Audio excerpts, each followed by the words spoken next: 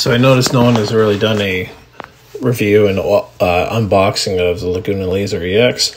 There's the uh, crate dimensions. Uh, we threw the casters on it um, to get it off the, the truck to make it easier to put it in and out of um, my garage until I, I picked it up on a Wednesday and I figured we would start working on it on a Saturday to give me a full day. Um, all these screws are all Phillips screws. They're pretty easy to see.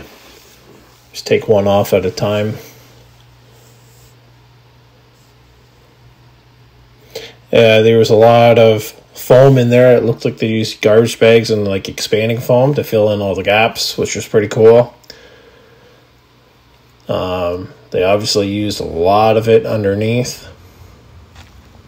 So we had to, uh, ended up jacking up both sides to be able to, to get all the foam from underneath. There's a quick little view of it right when we first unboxed it. That's the the air in, the water in, all that stuff. Exhaust. That's the uh, um, that little circuit breaker there. You need to make sure it's up when you go to plug everything in. And that's this panel here is where all the controls are. So you see we put the 4x4s underneath jacked it up so we could pull this piece out. and then we had to do the same thing to the other side. There is a lot of foam underneath there. Uh, if you have a forklift, obviously it's a lot easier. You just rip through that foam and pick it all up, put it on the ground. But we're in my garage, so we just decided to use a car jack and some 4x4s. See, like, look at how high it is up. But it's like good for them. They packaged it well. So, car jack, 4x4s, push it out, knock off the one end of the uh, the bottom of the crate, and then we used one of the sides to be able to roll it down to get it off so it wouldn't slam or anything. So this is it all down.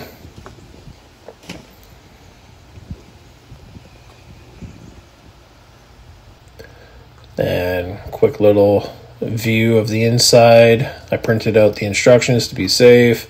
I knew there was some zip ties and spots to keep it from moving during shipping.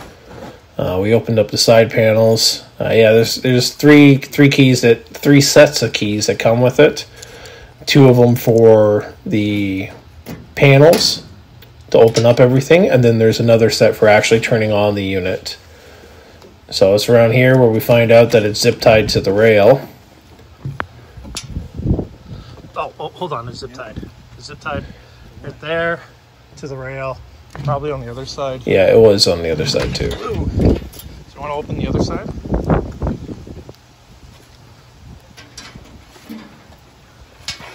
Let's see. Yeah, right here, right here. Kind of goes Yeah, just use your side cutters, cut it open. Push.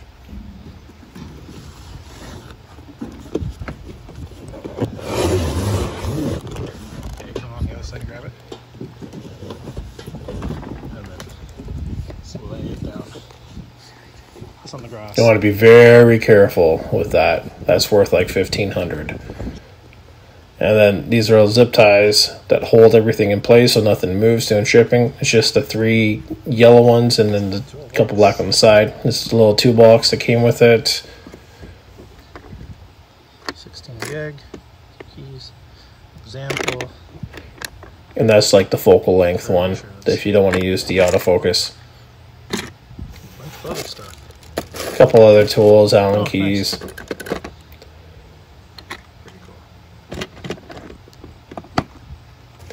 And this is what the tube area looks like when you first open it up. A couple bags on stuff, tubes just kind of hanging there. Little detail view.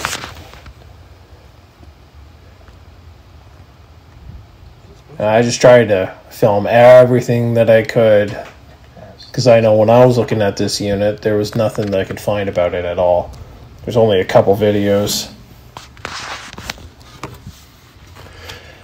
And this is the uh, the laser power supply, and then over on that side, all the electronics. and on the side as well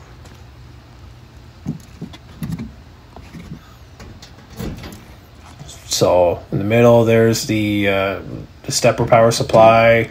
The black and green, that's the drivers. The little midget fuse on the right there. Um, you need to make sure that you switch them out to a 15 amp midget fuse that's time delayed. Um, the guy that sold it to me, uh, he told me to make sure that you do that. Good to know. Because your laser just won't work for one day. You need to make sure you change it to the 15 I'm amp. it just plugs up into right here, wherever that. Oh, that might be actual thumb drive one. So that might come up to here anyways. That's probably this guy here. This one's the one that you probably want to connect to your computer. Beefy sized drivers. Nice. How do you do that? Oh, okay. You just, okay, there we go. That. So then you just go in and push up. And lock it from there. There. And close. You got what you And the front underneath the bed,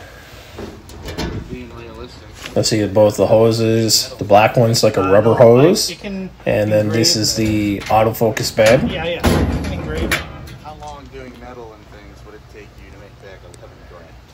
And the uh, the silver one. So I missed these two up when I first put it on, and I didn't realize till later after the video. Uh, this tray, that's for catching the small parts when you're just using the blade bed.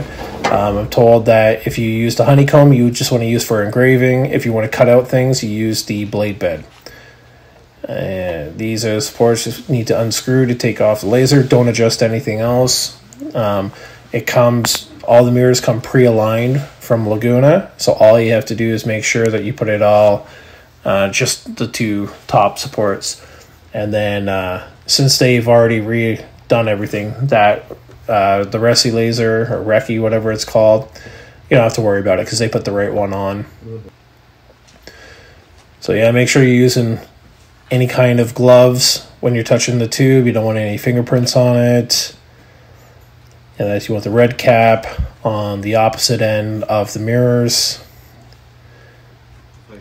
And then that little black out that outlet there, you want that facing up and make sure that no bubbles are circulating. And so that one there is the inlet, water inlet. You can take off that panel to make it a lot easier. So this one is wrapped around the post for here. This one is stupid. This is for the actual water, but this one is the actual anode or cathode or whichever which one it is. I thought this was just a tube. We spent like half an hour looking for this stupid thing. So it'll be laying right in here, looking like it's supposed to go to something else, but it has that on it. I might accidentally have to put one of your photos in. That's okay. Later.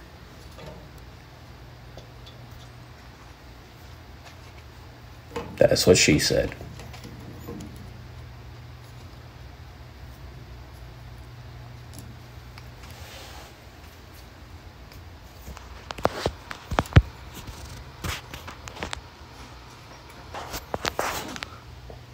Yeah, I make sure they go all over as far as you can in.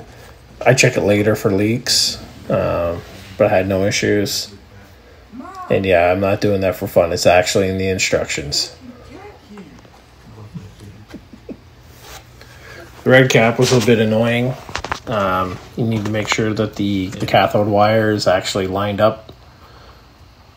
You know what? You have to make that straight. And then, me being impatient, I just wanted to see it move.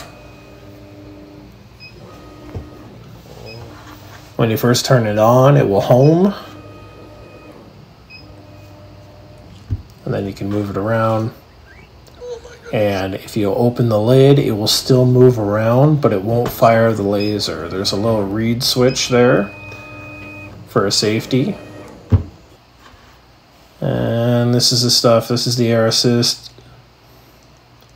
and then it's got a little barb on the outside. It came with the hose. That was actually in the same box as the uh, the exhaust fan. Yeah, right here. That's the exhaust fan. That's the tube for it, or that's the tube for the air assist. Here's the exhaust fan. So the one on the side, that's the inlet that I'm touching. And then the other side on the bottom, that's the outlet. So it will pull and push the air. So I make the mistake of putting the wrong one on. I'll show you later. This is the chiller. It's got two hoses. That's the alarm cable to know that there's no uh, there's no flow. It'll set off alarm. It'll stop be- start beating. And casters, the little ones, are the ones that unlock, and then the big ones lock it. It's pretty easy to move with one person. And setting up the chiller. So the first one is the alarm output, three pins on one side, four pins on the other side. Just line up the notch. You'll see it on there. Line it up and then thread it in. And then for the chiller to the water, the in goes to the out. So the inlet from the chiller goes to the water out, and then the water in goes to the outlet of the chiller. It makes sense. It's just circulating the water and actually cooling it. Make sure you check your hoses though. I had a slit in mine, so I had to go to Home Depot and get a replacement. This is the one that I found that works. It was a little tight, but it was still able to go on.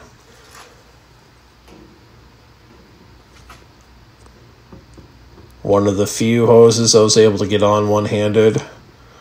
All the rest of them really annoyed me, so I was only able to do one at a time. Obviously, the air goes to the air in, and that just pushes air down the nozzle, um, keeps the smoke away from where you're actually cutting, blows parts down.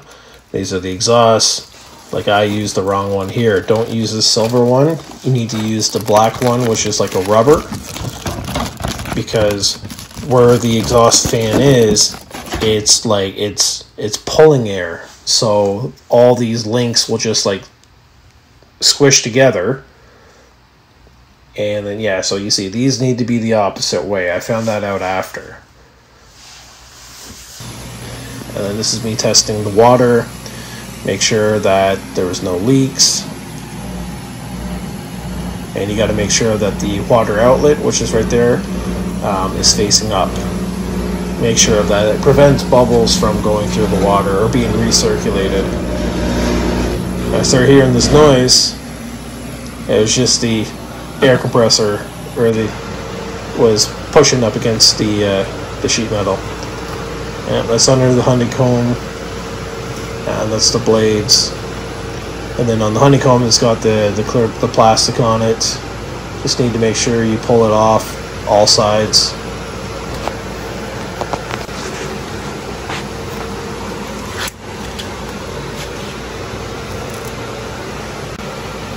And this is a little test that I'll link in the description. This is a power test.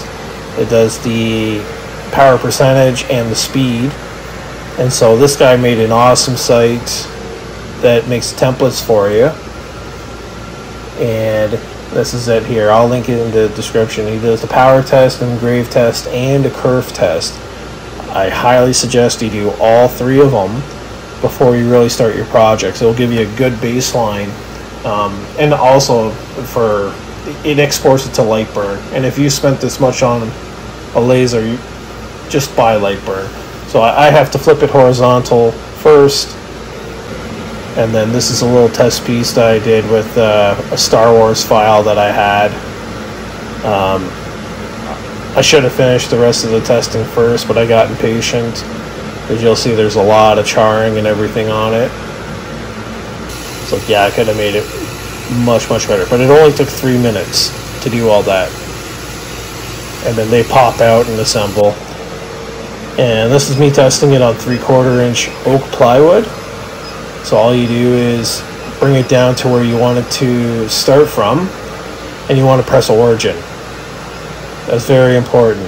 And then on Lightburn, you'll have to make sure you start from the user origin, or else you're just going to have a whole bunch of headaches. And you click send.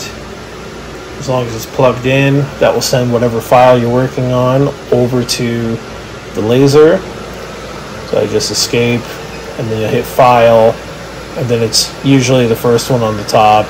You just hit enter, and you can press frame if you want to to see what boundary it is, but I already know it's just a small file, so I hit go. And then this is like, I think it's 5 millimeters a second at 100% power.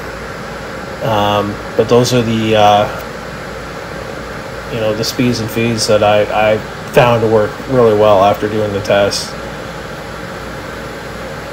The other thing is you need to make sure that the max power on the machine, there's a button for max power.